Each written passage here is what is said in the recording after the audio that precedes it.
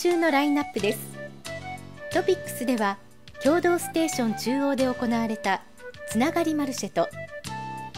中央区基本構想審議会の様子を。フロム広報誌のコーナーでは京橋図書館地域資料室の利用について。区内散歩では橋詰の史跡をご紹介します。皆さんいかがお過ごしでしょうか？こんにちは中央区です。キャスターの渡名喜織江です。3月3日は桃の節句ひな祭り。その起源は平安時代にまで遡ると言われていてひな人形を飾られているご家庭も多いかと思います。女の子の健やかな成長を願う日本の伝統行事。これからも大切にしていきたいですね。それではまず今週のトピックスをお伝えします。2月18日土曜日実施スクエア内にある共同ステーション中央で地域で行われているさまざまな活動を体験したり話を聞いたりできるつながりマルシェが行われました。町の活動プチ体験会として企画されたこの催しには14の団体が参加しました。会場には足のサイズの計測や足型などから正しい靴のサイズの指導を受けたり体の歪みなどに合わせたインソールを体験できる足の健康広場。ソーラーパネルを使い明かりを当てると動き出すソーラーバッタの工作体験。体のこりをほぐす健康体操などさまざまなコーナーがあり多くの人が参加してそれぞれの団体の活動を体験から学んでいました。さらに講座として実施されたのが学生ボランティアの被災地での活動報告と支援に関するワークショップです。皆さんは福島県と熊本県での活動を通して見てきたこと感じたこと問題となっていることなどから支援には被災地現地の人々を思う心が大切だと報告。この報告を踏まえワークショップでは今日からできる支援について参加者全員で活発な意見交換が行われていました。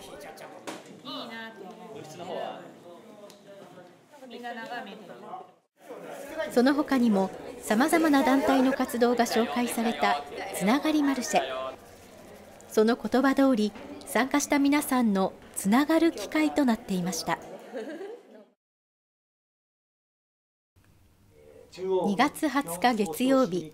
第6回中央区基本構想審議会が区役所で開催されました。中央区基本構想は区と区民のまちづくりの検証であり中央区の今後の行政運営の指針となるものです。中央区名誉区民で江戸東京博物館名誉館長の竹内誠審議会会長学識経験者公募による区民代表など38人による審議会委員でおよそ1年間20年後の中央区の姿を描く基本構想の策定を進めてきました。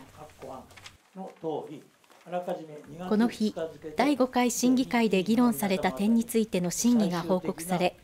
委員の拍手で承認。中央区基本構想等に関する答申が完成しました。どうもありがとうございました。そして竹内会長より矢田区長に答申が手渡されました第2条の規定に基づき当審議会に対して諮問のあった中央区基本構想及び中央区基本計画に盛り込むべき施策の在り方について別点の通り答申します。あ、どうもありがとう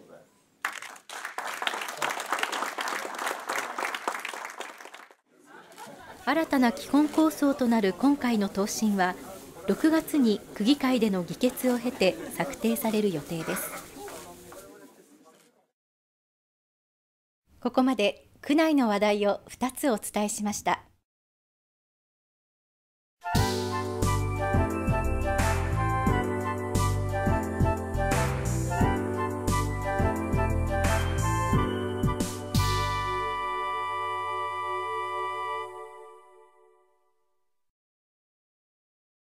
フロム広報誌のコーナーです。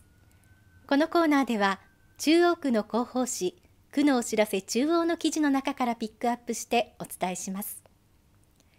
今回は2月21日号の6面に掲載された京橋図書館地域資料室の利用についてです。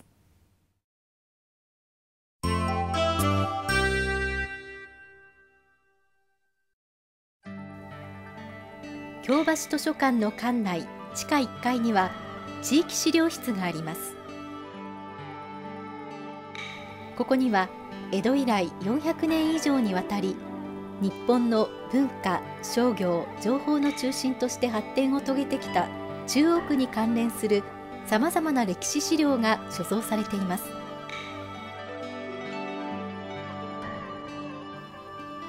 その数は文献や古地図錦絵をはじめ行政観光物区内の学校や企業に関する出版物などおよそ5万点。地域資料室ではこれらの貴重な資料を活用し皆さんの調べ物のお手伝いを行っています。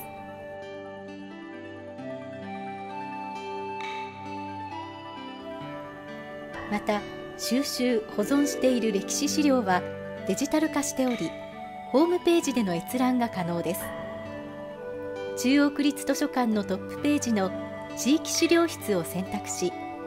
画像データ検索をクリック。キーワードを入力して画像を検索することができます。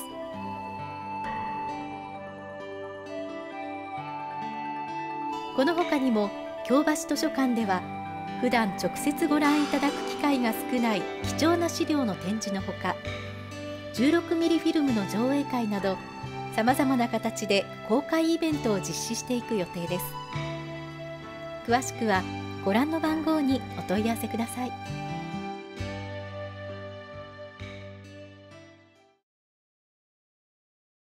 歴史に関連する調べ物の際は京橋図書館地域資料室をお気軽にご利用ください。さて続いては区内散歩です。このコーナーでは区が発行している中央区区内散歩から中央区の歴史などについてご紹介します。今回は橋爪の史跡を訪ねてみました。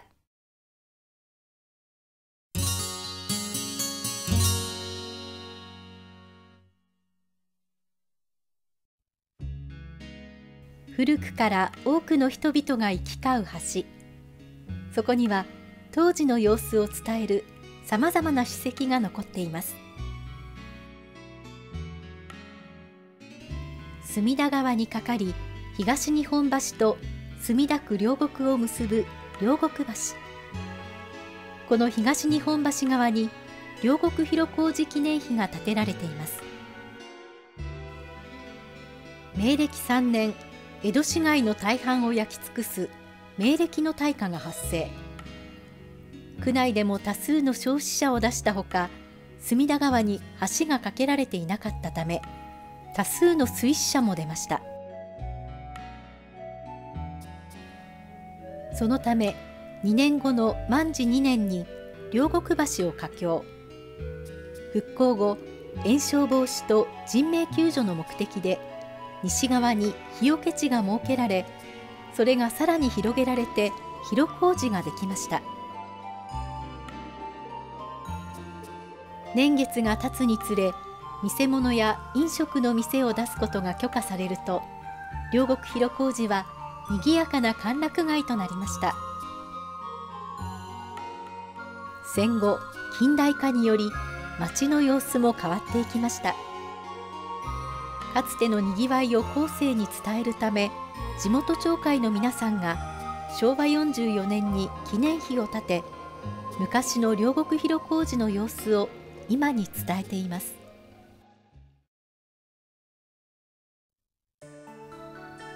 日本橋兜町に海運橋と刻まれた親柱が残されています。現在の高速道路の位置に流れていた楓川に架けられていた海運橋。江戸時代俗に海賊奉行と言われたお船手奉行の向井将軍の屋敷が近くにあったため将軍橋や海賊橋と呼ばれていましたが明治に入り海運橋と改められました。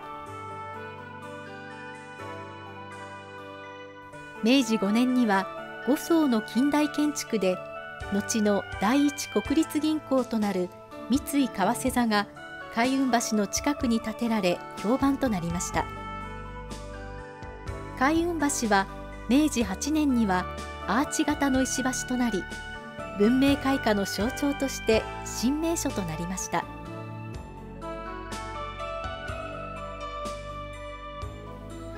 その後大正12年の関東大震災で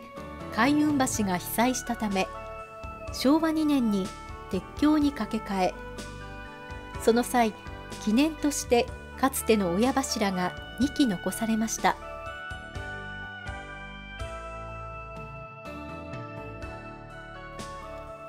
楓川の埋め立てにより昭和37年には橋は撤去されましたが残された親柱は近代橋梁の遺構として中央区民文化財に登録されています。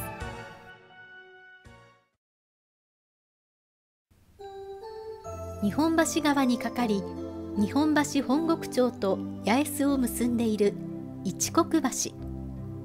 その八重洲川に迷子知らせ石標が残されています。江戸時代日本橋界隈は盛り場で迷子も多く迷子が出た場合は町内が責任を持って保護することになっていました。そこで安政4年にこの石標を設置。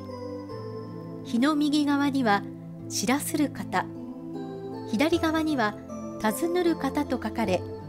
上部のくぼみに迷子の情報を貼り付ける告知板の役割を果たしていました。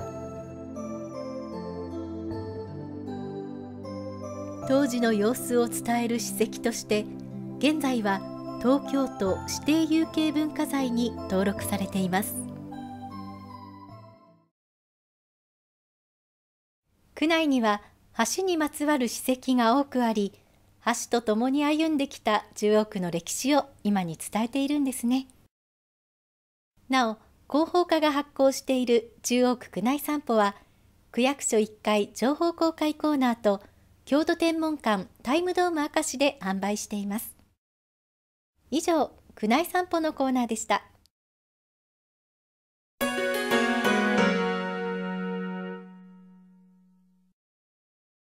中央区からのお知らせです。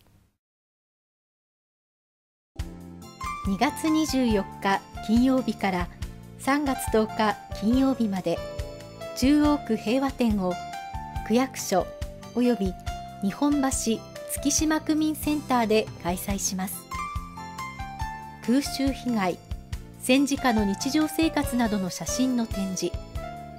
戦災体験者の証言を聞くことができる DVD 上映を行うほか区役所内には焼夷弾など戦争を物語る資料の数々を展示します。詳しくは地域振興課地域事業係にお問い合わせください。